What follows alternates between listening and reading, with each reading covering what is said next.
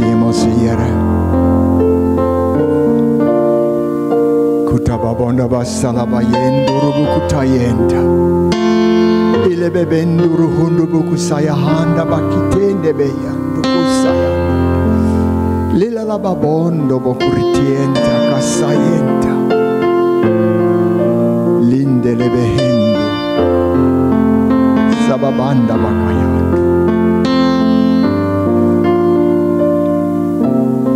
Verskrik of bang wees nie. Weet ek is jou God. Ek ken jou. Ek weet selfs hoeveel hare op jou hoof is. Ek toets elke dag jou niere. Ek ken jou hartklop. Ek tel jou trane. Ek sien elke plek waar jy kom waar jy uitdagings het. Weet vanmôre een ding. Ek sal jou nooit begewe of verlaat nie. Weet een ding. Ek waarborg ek sal jou deurdra. Halleluja. Dankie Here. Dankie dat U so goed is. Dankie vir U woord in hierdie môre. Ons prys U naam. Ons prys U naam daarvoor, Here. As die Here met iemand gepraat het deur hierdie woord, kan jy jou hand opsteek en ons gaan vir jou bid. Daar seker mense met wie God spesifiek gepraat het. Ek sien die handjies wat opgaan. Ek sien die hande wat opgaan. Here, dankie dat U die diens ophou omdat U mense onthou. Dankie Here dat U die hele verloop aanpas. Omdat U vir elkeen wil sê hulle pas in U hart. Bid dat U elkeen vanmôre sal omhels met U krag. Maar ons mense, Here, wat nie gesond is nie. Ons roep genesing uit. Ons roep die ingrype van God. Ons roep die pynstillers van die hemel wat nie net 'n pyn stil nie, maar die oorsaak van die pyn wegneem. O Here, ons roep U almag in huise en gesinne en families waar daar smart is en uitdagings is wat te groot is vir homself te hanteer.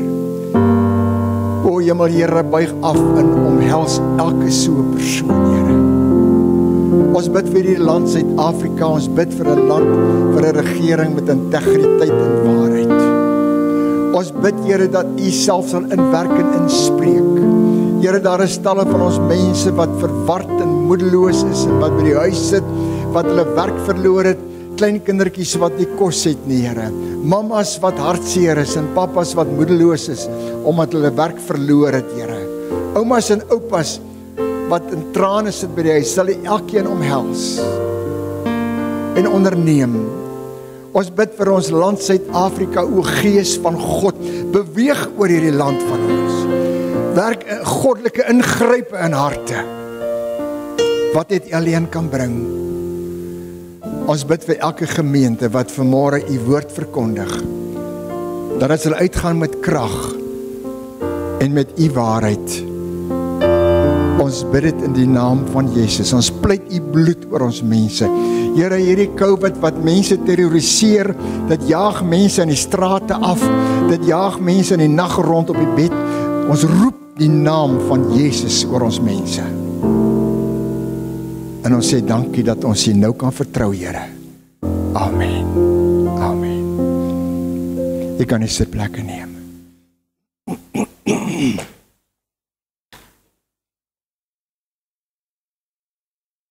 Loof die Here.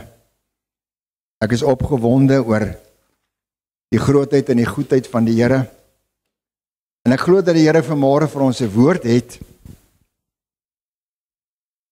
'n Woord wat ek glo ons moet hoor. En 'n woord wat ons in ons hart moet opskryf asseblief. Skryf hom in jou hart op. Hy moet daar bly.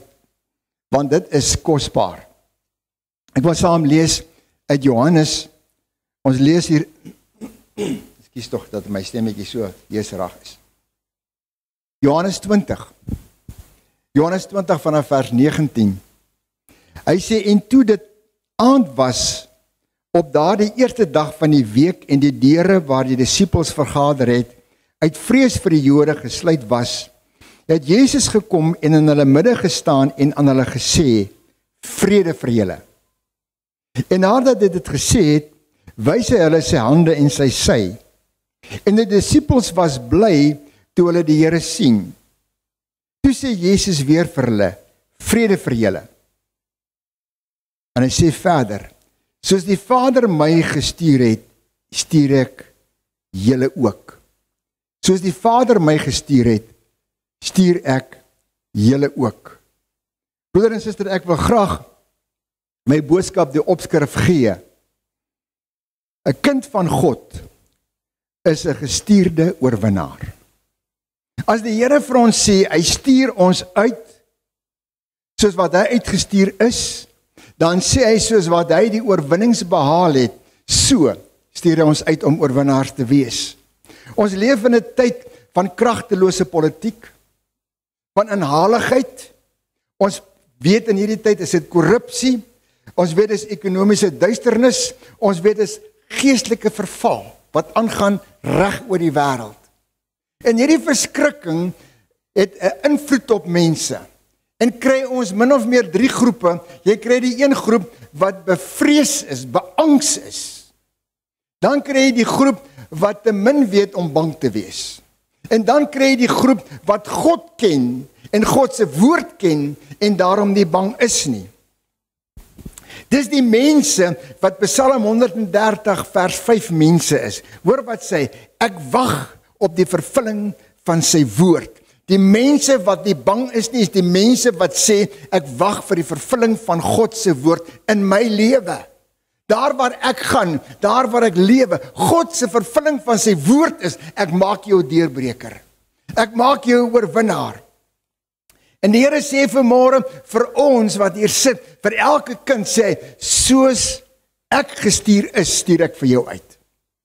Met ander woorde, die Here sê vir elkeen van ons dat ons moet moed skep en ons moet begine opstaan en ons moet uitkyk dat ons weet dat ons gaan uitstap in hierdie wêreld en oorwinning behaal soos wat Jesus dit gedoen het. Die Here wil vandag vir ons sê dat ons kan maar weet elke uitdaging wat ons pad langs gaan kom, sal ons in die naam van die Here sal ons dit verbreek en teenstaan en daaroor triomfeer. Die Here sê vanmôre vir ons in Jesaja 28 vers 16 in die Lewende Bybel, iemand wat op die Here vertrou, hoef nie paniekerig te word en te vlug nie. Mense vlug oral heen. Party vlug in dwelms in, party vlug in drank in, party vlug in ander goed in en party wil uit die land uit vlug. Die Here wil vandag vir ons sê dat ons wat hom vertrou, hoef nie paniekerig te wees nie. Hy gaan vir ons help. 'n Iemand wat deur die Here gestuur word, is nie iemand wat in die mode is nie. Die mode is vandag dat die geestelike standaard word verlaag. Sonde is nie meer sonde nie. En baie van die sondes word deur wetgewing goedgekeur, soos wat dit deur die wet goedgekeur word om babetjies te vermoor vir hulle op vir hulle ooit opgedaag het. Die mense wat deur die Here gestuur word, is luister baie mooi, Johannes 15 vers 4 mense. Dis die mense die Bybel sê Christus is in jou en jy is in hom. Jy's nie in die môre nie, jy's in Jesus Christus. Jy's in hom verberg. Jy's daardie persoon wat kan weet dat omdat die Here in jou is en sy gees in jou is, gaan jy net soos wat Jesus op 'n plundertog van die duiwelse bose magte. Jesus het niks gevat van die bose nie. En kan ek en jy vandag weet dat die Here wil vir ons sê dat omdat ons in hom is en hy in ons is, hoef ons nie te skrik nie. Ons sal elke keer oorwinnaars wees. Maar nou die wonder van die Here is so dat hy stuur ons nie net nie. Hy bekwam ons, hy rus ons toe. Efesiërs 6 vers 10 sê dat die kind van God wat deur Jesus gestuur word, is die persoon wat kragtig is in die Here en in die krag van sy sterkte. Met ander woorde, jy sidder nie as die vyand opdaag nie. Jy het die krag van God in jou binneste. Nie jou eie krag nie. Ek weet dat baie van die mense wat wat 'n deel van my van dit van 'n merwe, hulle skrik vir niks. Maar my maat, hulle skrik nie vir niks nie. Daar kom 'n dag in sy lewe dat hy wel skrik. Ek het gesien hoe skrik van 'n merwe is. Ek het gesien hoe skrik ek, maar God se woord sê dat wanneer sy krag in ons is, dan skrik ons nie. Ons loop in die krag van sy sterkte. Want hy sê ons sal elke keer wanneer die vyand jou uitdaag, sal ons oor hom triomfeer. Hy sê dit vir ons in 2 Korintiërs 2 vers 14.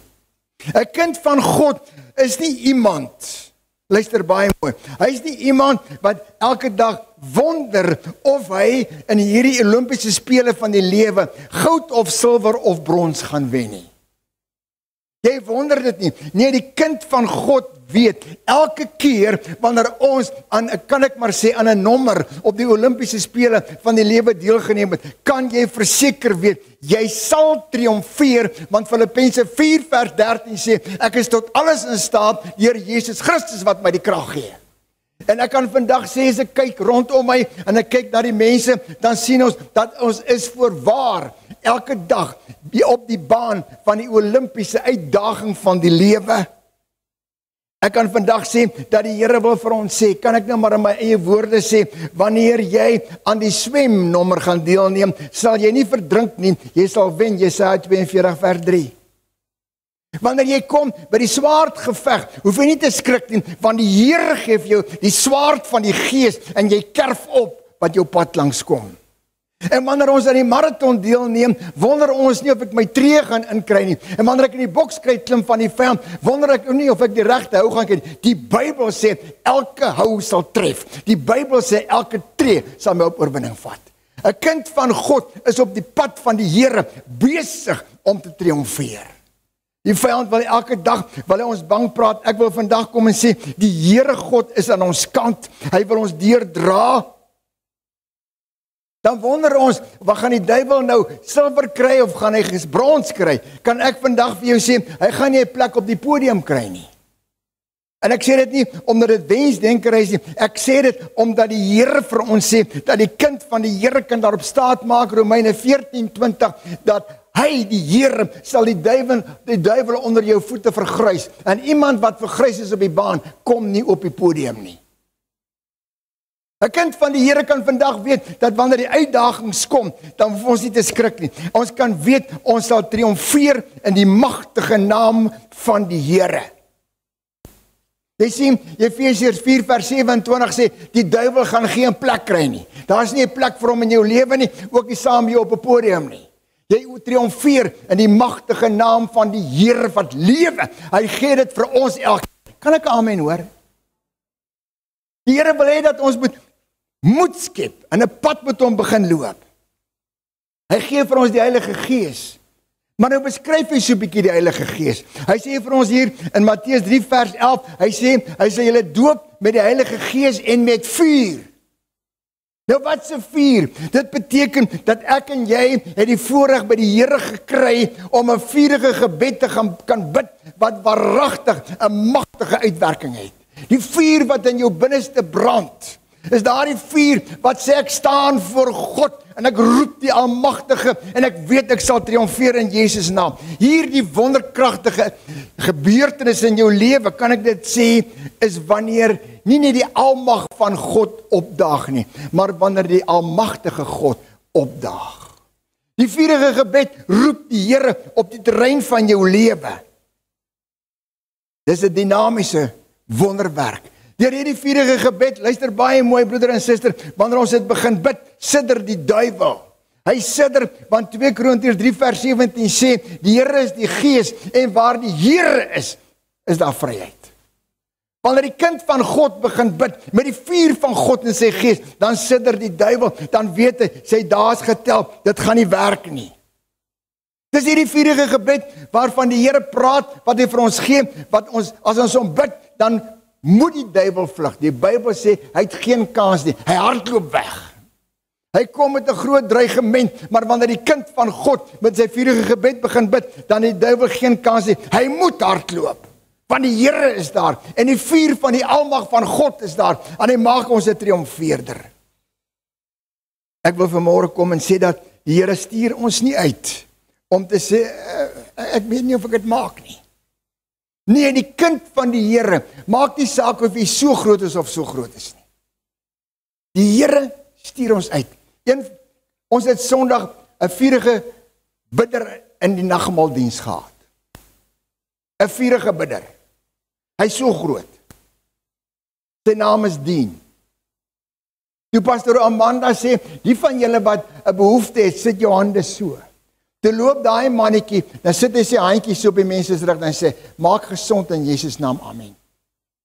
Hoor jy wat ek sê? Kom ons neem die guts van so groot seentjie en begin te bid. Hy het net een ding geweet, as hy liewe Jesus aanroep, dan sal die duiwel sidder. En as dit tyd geword dat die kinders van God met hierdie krag en vuur in jou binne begin beweeg. Die vyand het nie 'n kans nie. Die Here maak ons triomfeerders, maak ons wenners.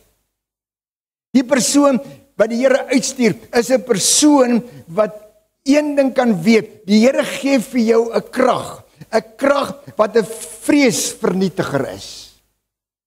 Jy is nie vreesagtig nie, want die woord van die Here sê in 2 2 Timoteus 1 vers 7 dat hy gee ons nie gees van vrees nie, maar van krag van liefde en van selfbeheersing. En dan vra ons nou maar goed wat beteken dit? Wanneer die gees van God die vrees bevrees be, uh, uh, verbreek het dan gebeur daar iets. Hierdie selfbeheersing wat in jou binne staan opstaan is 'n krag. Dit gebeur mos dat die vyand elke dag is hy besig stuur hy mense jou pad langs of 'n motor of wat wat voor jou indra en dan kry jy aggressie En wanneer die aggressie in jou kom en posvat in jou binneste, dan weet die duiwel, as hy die aggressie kan laat groei in jou binneste, gaan jy verloor, want jy sien, aggressie is een van die wapens van die duiwel. Wanneer aggressie opstaan, dis maar een van die dinge, dan skop daardie wonderkrag van God in en selfbeheersing, geesbeheersing staan op en jy wen die oorlog. Hoe wen ek die oorlog in aggressiewe tyd? Die Bybel sê vir ons so kosbaar, Spreuke 15:1. Hy sê 'n sagte antwoord keer die grimmigheid af. Wanneer almal staan met hulle boosheid en hulle wildheid en God kom en hy gee vir jou hierdie beheersheid en jy spreek 'n woord van beheersheid en van liefde. Here, ek wil hom nie lief hê nie. Ek wil sy nek omdraai. Nee, die Here sê hy gee jou 'n ander gees. 'n wondergees. Want wanneer hierdie beheersheid in jou binneste kom, kom daar vrede en kom daar ook versoening. Dis waar die liefde inkom. Want die duiwel wil hê ons moet in vyandskap lewe. Maar God het geweet. Gees van krag en liefde en selfbeheersing. En is dit die Here dan vandag wil hy vir my en vir jou sê, hy sal ons triomfeerders maak. Ek wil vanmôre weer sê iets wat ek my hele lewe sal onthou. Ek onthou dit vandat ek 34 jaar oud is en dis eergister. Hoe dat my stiefpa my uitgetrap en verneder het in my ma se huis en my weggejaag het en hy gesê ek hoort nie daar nie, ek mag nooit weer terugkom nie. En ek het my ma se verlee. En jy sien, hy wil hê ek moet saam met hom vloek. Ek sê ek sal loop, gee my 30 sekondes. Hy sê toe, kry gaar. En ek sê Here, sal U vrede en u kalmte en u oorwinning nou in hierdie huis kom. Amen. Toe ek amen sê, dis sê jy ry nie nou nie. Jy gaan nou saam met ons eet. Wanneer God aangeroep word, wanneer die heerlikheid van die Here in jou binneste werk, kan die duiwel nie wen nie. Ek wil dit vir u sê, dis die waarheid. Dis hoe dit is, want Sagaria 4 vers 6 sê, nie deur krag of geweld nie, maar deur my gees kom die oorwinning. Wanneer die gees van God in ons binneste werk en hy wil in ons werk, 'n oorwinnaar, 'n triomfeerder is nie iemand wat sê ek hou die fort nie. Nee.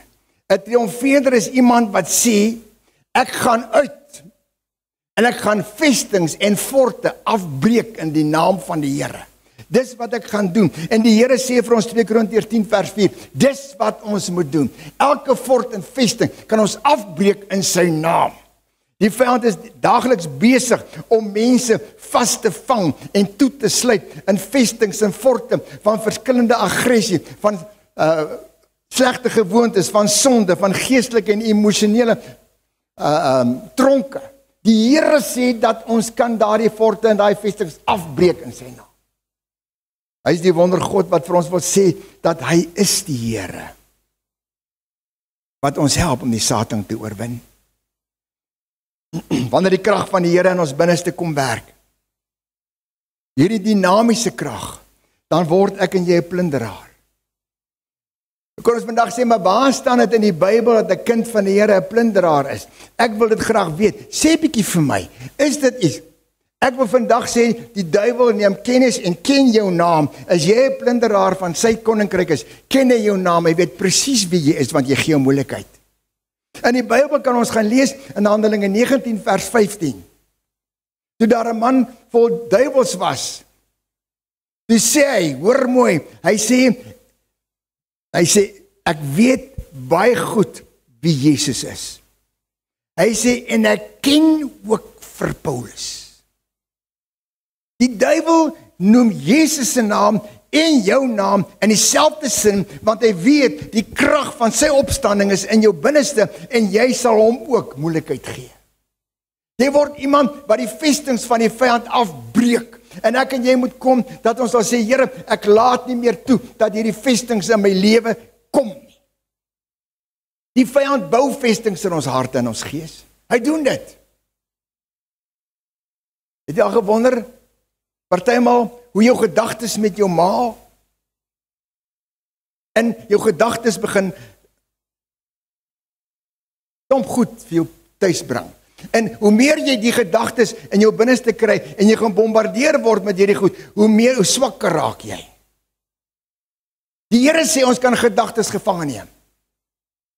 En wanneer die gedagtes met jou begin weghardloop, kan ek ietsie sê. Dan met die kind van God op sê, die Here sê ons kan gedagtes gevange neem. En toe toe ek hieraan dink, toe dink ek toe ek in die weermag was, hoe het die Samuel gesê, "Tree aan." Jy klomp mannetjies wat nou net van by die weermag aangesluit het. Hulle is so vol van hulle self. Hulle het ook gesê hulle sal nie my hare sny nie. Met hierdie gedagtes. En jy sê, daai uh, Samuel sê tree aan en hy tree hulle aan en hy sê vir hulle luister, julle stap dan julle masseer in tyd soos ek vir jou sê links regs links en jy draai wanneer ek sê jy moet draai. Broeder en suster, ek wil vanmôre vir jou sê dat die vestings wat die Here sê of die gedagtes wat ons gevange neem, jy gaan sit en jy sê Here, ek neem hierdie gedagtes gevange in Jesus naam en van nou af gee ek die opdragte. Wat God sê, ek begin dink soos hy dink. Dan dit in die Bybel. Ja. Ek het nou net hierdie teks nie waar Paulus sê ons het die sin van Christus. We've got the mind of Christ. Jy kan jou gedagte gevange neem en wegneem uit hierdie goed uit en dat jy die regte dinge begin dink. Wat my baie kosbaar is, is dat die kind van die Here word ook iemand wat vir die wêreld wys. Jy wys vir die wêreld dat jy raak nie jou gedagtes word nie deur vrees beetgekry en toegesluit nie. Paulus en Silas was omtrent in dieselfde situasies wat ons is vandag. Hulle was in die tronk. Hulle is onskuldig. Hulle is kinders van die Here. En toe hulle daar in die tronk is, saam met al die skurke en rowers en boewe en wat ook al, sit hulle daar en ek weet nie wat het die ander gedink nie, maar die Bybel sê, luister baie mooi. Die Bybel sê die gestuurdes, Paulus en Silas, hulle sit daar en in die middel van die nag begin hulle kliphard te bid tot God en lofliedere te sing tot die Here. Wat sê dit? In 'n wêreld waar almal se gedagtes gevange geneem is deur al die goed wat ons hoor, is hulle gedagtes nie gevange geneem nie. Ek en jy se gedagtes hoef nie gevange te geneem te word deur elke WhatsApp wat kom nie. As hy kom dan sê in die naam van die Here buig ek daaronder nie. Ek stap op pad met die Here. Ek loof die Here vir sy grootheid. In die middel van die nag toe begin Paulus en Silas te te bid en te sing en die Bybel sê die Here dag op met 'n aardbewing en hy dag op met 'n bos sleutels want hy sluit elke boei en elke deur oop. Gaan lees maar. Wat sê die Bybel? Ek sê dit in Handelinge 16 vers 25. Elke boei het afgeval en elke tronkdeur het oopgegaan. Want wanneer jy kom en jy hierdie vryheid wat God in jou gees bring. Mens, dis een van die kosbaarste wonderlikste goed wat met ons kan gebeur. Ek glo die Here wil vandag vir ons kom sê dat ons is oorwinnaars. Ons is mense, ons is mense, mense wat kan in 'n pad kan loop. Ek kan besluit of ek 'n oorwinnaar gaan wees. Ek wil. Ek kan ek en jy is 'n gestuurde van God. Neem kennis daarvan. 'n Gestuurde soos Jesus gestuur het. Die duiwel het hom van die begin af het hy Jesus probeer uitdaag vandat hy gevul is met die Heilige Gees. Sommige dadelik. En ek en jy kan in die naam van die Here triomfeerders wees. Ons moet dit wees. Kom ons gaan 'n bietjie meer verder wat die Bybel vir ons beskryf. Hierdie toerusting wat ons kry om ons oorwinnaars te maak. Praat van die Heilige Gees, dan praat hy van die salwing van die Heilige Gees en dan sê hy vir ons in Jesaja 10 vers 27, ons die salwing wat ons kry, gooi die juke van die duiwel af. En eintlik vat ons hierdie juke en gooi dit terug in die duiwel se arms in. Waar kry ek dit? dat ek dit kan sê. Die salwing breek die juke, maar hoor wat sê Psalm 9 vers 16. Die put wat die duiwel vir jou grawe, hy val self daarin. En die stryk wat hy vir jou stel, val hy self in. Met ander woorde, die, met die salwende krag van God in ons lewens, oorwin ons die vyand. En triomfeer ons oor elke aanslag wat op ons afgevuur word. Ek glo dit. Kan ek so stel, Die salwing van die Heilige Gees praat van die olie van die Gees van God. Dit olie jou gees, dit olie jou denke, dit olie jou emosies. En wanneer dinge moeilik gaan, dan raak 'n mens nie soos 'n ou motor wat sonder olie gery word en hy brand vas, hy sies nie. Nee, die salwende krag van God, wanneer dit in jou kom, dan word jou werkverrigting tot eer van God net beter want 1 Johannes 4 vers 4 sê hy wat in jou is is groter as hy wat in die wêreld is. Die smeerkrag van die Heilige Gees maak jou 'n triomfeerder. Wat 'n wonderlike voorreg. Ons kan oorwin. Jy sien elke keer wanneer daar konflik kom, dan kan ek weet die Here sê sal ons meer as oorwinnaars wees. Romeine 8:37. Hy sê dit. Die Bybel sê daar gaan aanslag te kom. Daar gaan uitdagings wees. Die Here sê, "Die stryd gaan teen die bose magte en bose geeste in die wêreld heersers wees." Dit gaan wees, maar die kind van God gaan triomfeer. En wanneer ons deur elke veldslag wat ons gaan, sê die Here sal ons staande bly. Ons sal nie plat gevee wees nie. En van die wonderlikste goed wat vir my uh 'n uitdaging was. Dawid sê met my God loop ek 'n bende storm. En ek sê, "Oké, okay, Here, as Jesus my gestuur het soos hy gestuur is, wys my asseblief waar Jesus 'n bende laat skrik het. Wys my bietjie, waar het dit gebeur? Hey, weet dit staan, weet hoe wonderlik is dit? In uh Johannes 18 vers 16 lees ons. Toe Jesus in die tuin was en die klomp opdaag en hulle wil hom gevange neem. Hulle is reg om hom gevange te neem en en en hulle in, in vers 5 sê En hulle antwoord hom: "Jesus, wie soek julle?" Hulle sê ons soek Jesus, die Nasareener. Jesus sê vir hulle: "Dis ek." En ook Judas, sy verraaier, het by hulle gestaan. Kyk wat gebeur. Toe hy dan vir hulle sê dit is ek, het hulle agteruit gegaan en op die grond geval. Daardie bende storm op hom af met wapens en al die goeters en toe die Here sê ek is die Here. Ek Toe val hulle op die grond neer. Nou Jesus het hom laat arresteer, want Jesus het gesê hy gaan gearresteer word, maar hulle kon nie doen wat hulle wil nie. Toe hy sy voet neersit, toe val hulle op die grond neer. Al die priesters en al die kerkleiers en ook die soldate. En wanneer die weermag op jou afstorm of die uitdaging jou deel kan word, en jy sê ek staan in die magtige wonderbare naam van die Here, sê die Bybel, sal ek aan jou oorwin. Dis die wonder van God se grootheid. Jy sien baie mense dink wanneer ons deur stryd gaan, het jy 'n probleem. Dan die Here het, het besluit hy moet jou straf. 'n Wonderlike ding is, luister baie mooi, 'n wonderlike ding is. Wanneer ons 'n deur 'n dal van donker dieptes te moet gaan. Wanneer? Nie as nie. Wanneer die wat nie in Jesus is nie, daardeur moet gaan, dan is hulle angs angstig en bevrees en hulle weet nie wat gaan gebeur nie.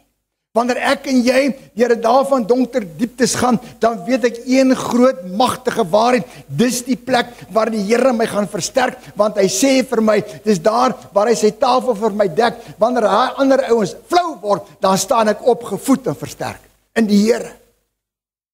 Wanneer hulle hulle wonde lek, dan lek die kind van God, kan ek maar sê sy vingers af van die guns, die tafel wat die Here vir hom gedek het.